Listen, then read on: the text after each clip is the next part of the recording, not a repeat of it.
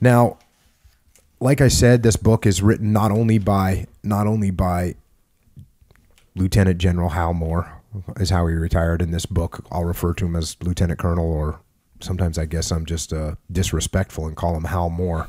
I don't mean it disrespectfully, but anyways, Hal Moore wrote the book, but he also wrote the book along with another guy named Joe Galloway.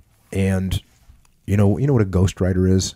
Yeah. Yeah, ghostwriter. Well, this is so a ghostwriter writes a, a person's book, but no one's supposed to know it. Mm-hmm. And then there's people that write the book, but they get credit for it.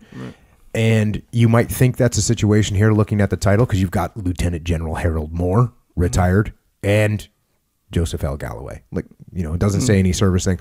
Well,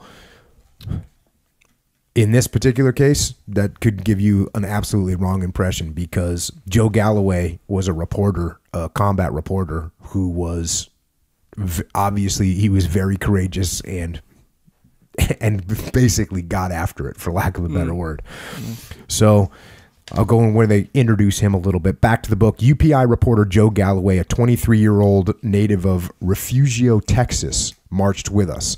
When he hooked up with us, he carried on his shoulder an M16 rifle, which the Special Forces commander, Major Charles Beckwith, had handed him when the fight was over. Galloway told Beckwith that, strictly speaking, under the Geneva Convention, he was a civilian non combatant.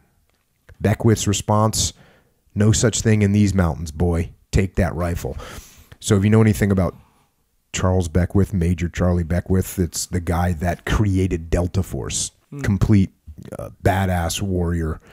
And he was a special forces commander in Vietnam and, and was one of the first people that apparently Galloway worked with. And Galloway said, you know, you better arm yourself. So here's Galloway talking. Galloway remembers. My first time out with Hal Moore's 1st Battalion, 7th Cavalry was a hellish walk into the sun to a remote Montagnard mountain village. We got into a patch of brush and wait a minute vines so thick and thorny that every step had to be carved out with machetes. We covered maybe 300 yards in four hours and forded a fast running, chest deep mountain stream just as darkness fell, then huddled in our ponchos, wet and freezing all night long. At first light, I pinched off a small piece of C4 plastic explosive from the emergency supply in my pack and used it to boil up a canteen of water for coffee. If you lit C4 very carefully, you could be drinking hot coffee in maybe 30 seconds. If you were careless, it blew off your arm. Over a first cigarette, I watched Moore's men. First, they shaved. Shaved? Up here? I was amazed.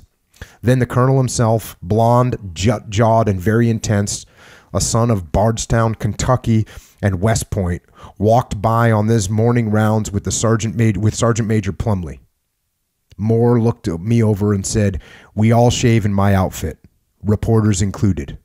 My steaming coffee water went for a wash and a shave, and I gained a measure of respect for the man. Daily discipline in all things.